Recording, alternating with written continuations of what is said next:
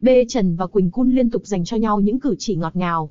Thường thì những cặp đôi diễn viên khi bị nghi ngờ chuyện phim giả tình thật, sẽ tìm cách né tránh tin đồn bằng cách hạn chế xuất hiện chung, nếu có gặp gỡ vì lý do công việc cũng sẽ giảm độ tương tác. Nhưng B Trần Quỳnh Cun thì khác, khán giả càng đẩy thuyền thì hai người lại càng thân thiết hơn nữa. Như mới đây, B Trần và Quỳnh Cun được mời tham gia một sự kiện. Khi tới nơi, trời có mưa lất phất và B Trần đã lấy tay che mưa giúp Quỳnh Cun, một cách rất nhẹ nhàng, trong khi nữ diễn viên cũng thoải mái khi được B Trần chăm sóc chú đáo như vậy. Chỉ một khoảnh khắc rất nhỏ, nhưng phản ứng đầy tự nhiên không chút ngại ngùng của B Trần, Quỳnh Cun cho thấy hai người hẳn đã quen với những hành động quan tâm chăm sóc nhau đầy ấm áp như thế này. Chưa kể đang tham gia sự kiện có đông người, đứng trước nhiều ống kính nhưng B Trần, Quỳnh Cun vẫn chẳng hề e ngại bối rối hay né tránh nhau, cứ như thể đã sẵn sàng công khai tình cảm với khán giả. Trước đây, cả hai cũng nhiều lần dành cử chỉ thân thiết với nhau khi đi ăn hay đi làm móng, chứ không tìm cách tránh nhau như nhiều cặp đôi vướng tin đồn khác.